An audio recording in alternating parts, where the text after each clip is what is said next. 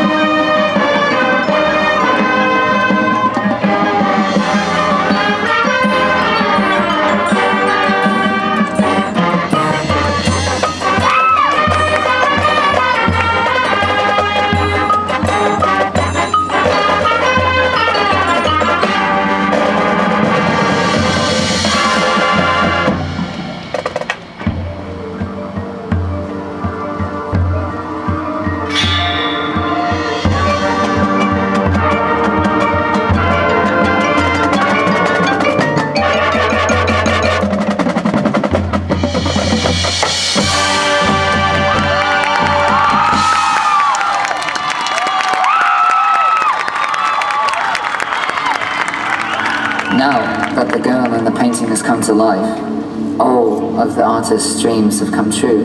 But remember, always be careful for what you wish for.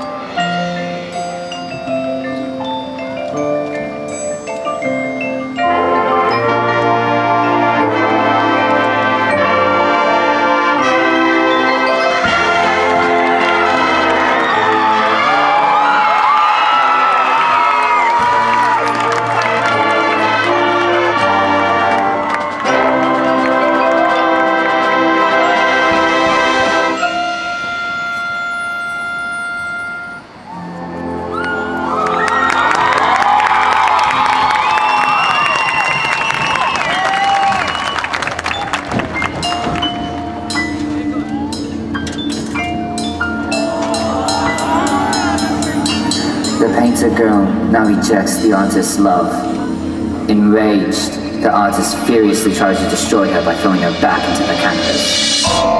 Where she will remain forever. But in the end, You will become the painter, and he will become the painted.